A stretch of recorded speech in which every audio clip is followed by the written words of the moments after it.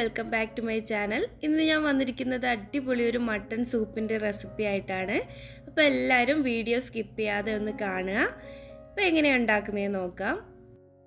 അപ്പോൾ നമുക്ക് നമ്മുടെ മട്ടൺ സൂപ്പ് ഉണ്ടാക്കാൻ തുടങ്ങാം. അതിന് വേണ്ടിയിട്ട് ഞാനിവിടെ ഒരു കുക്കർ എടുത്തിട്ടുണ്ട്. കുക്കറിലേക്ക് കുറച്ച് എണ്ണ ഒഴിച്ചു കൊടുക്കുന്നുണ്ട്. അപ്പോൾ മട്ടണിൽ നെയ്യ് കൂടുതലാണെങ്കിൽ എണ്ണയും കുറച്ച് ഒഴിച്ചു കൊടുത്താൽ മതി. ഇനി ഇതിലേക്ക് ഞാനൊരു ഏഴ് ഗ്രാമ്പു ഇട്ട് കൊടുക്കുന്നുണ്ട്. പിന്നെ ഇതുപോലത്തെ രണ്ട് കഷ്ണം പട്ടയും ഇട്ട് കൊടുക്കുന്നുണ്ട്. ഇനി നമുക്ക് ഇതിലേക്ക് വേണ്ടത് ആട്ടിൻകാലാണ്. ആട്ടിൻകാലും അതുപോലെ തന്നെ ഞാൻ കുറച്ച് മാംസത്തോടുള്ള പീസുകളും എടുത്തിട്ടുണ്ട്. അപ്പോഴാണ് നമ്മുടെ സൂപ്പിന് നല്ലൊരു ടേസ്റ്റ് കാണും. എന്താ ഇതുപോലുള്ള പീസുകൾ എടുത്തിട്ടുണ്ട്. ഒരു മുക്കാൽ കിലോളം വരും ഈ ഒരു മട്ടന്റെ പീസുകൾ ഇനി ഈ മട്ടന്റെ പീസെല്ലാം നമുക്ക് എണ്ണയിലേക്ക് ഇട്ട് കൊടുക്കാം.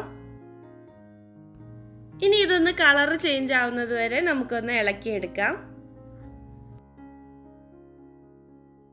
ഇതാ കണ്ടില്ലേ ഇപ്പോൾ കളറൊക്കെ ചേഞ്ച് ആയി വന്നിട്ടുണ്ട്. ഇനി നമുക്കിതിലേക്ക് ഒരു പതിനഞ്ചോളം ചെറിയ ഉള്ളി ചുമന്നുള്ളി ചതച്ചതാണ്. അപ്പോൾ അത് ചേർത്ത് കൊടുക്കാം. ഇനി ഇതൊന്ന് ചെറുതായിട്ട് വഴറ്റിയെടുക്കാം. ഇനി ഇതിലേക്ക് ഒരു ഒന്നര ടേബിൾ സ്പൂൺ ഇഞ്ചി ചതച്ചത് ചേർത്ത് കൊടുക്കാം.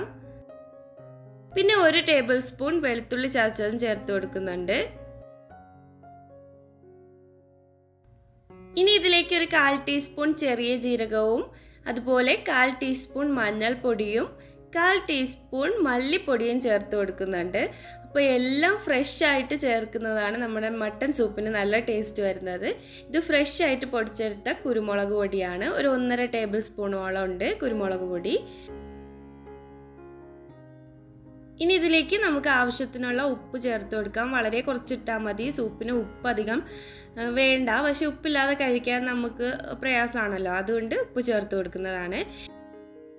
ഇനി ഇതിലേക്ക് ആവശ്യത്തിനുള്ള വെള്ളം ഒഴിച്ചു കൊടുക്കണം. നമുക്ക് എത്ര സൂപ്പാണോ വേണ്ടത് അതിനനുസരിച്ച് വെള്ളം ഒഴിച്ചു കൊടുക്കാം.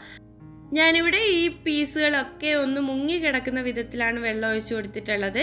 ഇനി കുക്കർ അടച്ചു വെച്ചിട്ട് നമുക്ക് ഒരു മണിക്കൂറോളം നന്നായിട്ടൊന്ന് വേവിച്ചെടുക്കണം. എല്ലൊക്കെ നല്ല സോഫ്റ്റ് ആയിട്ട് വരണം. വെള്ളം വറ്റി വരണം. അപ്പോൾ ഇതാ ഒരു മണിക്കൂർ കഴിഞ്ഞപ്പോഴത്തേക്ക് നമ്മുടെ സൂപ്പൊക്കെ വെള്ളമൊക്കെ വറ്റി നല്ല രീതിയിലായി റെഡിയായി വന്നിട്ടുണ്ട്. അടിപൊളി ടേസ്റ്റി ആയിട്ടുള്ള സൂപ്പ് റെസിപ്പിയാണ് കണ്ടില്ലേ? ഞാൻ ഈ സൂപ്പിലേക്ക് കുറച്ച് നെയ്യിൽ നമ്മുടെ ചുവന്നുള്ളി ഒന്ന് ഫ്രൈ ചെയ്തിട്ട് ചേർത്ത് കൊടുക്കുന്നുണ്ട്. അപ്പോൾ ഇത് ഓപ്ഷനിലാണ് ഇത് അവോയ്ഡ് ചെയ്യാം. ഇപ്പോൾ നമ്മുടെ മട്ടൺ സൂപ്പ് റെഡി ആയിട്ടുണ്ട്. നമ്മൾ എടുക്കുന്ന വെള്ളത്തിനെക്കാട്ടിയും വറ്റി നന്നായിട്ട് വറ്റി വരണം വെള്ളം. അപ്പോഴാണ് നമ്മുടെ സൂപ്പ് നല്ല ടേസ്റ്റി ആവുന്നത്. ഇനി നമുക്കിതൊരു പ്ലേറ്റിലേക്ക് മാറ്റാം. ഇതാ കണ്ടില്ലേ നമ്മുടെ ആ ബോണൊക്കെ നല്ല സോഫ്റ്റായി വന്നിട്ടുണ്ട് ആ പീസൊക്കെ നന്നായിട്ട് വെന്തിട്ടുണ്ട്.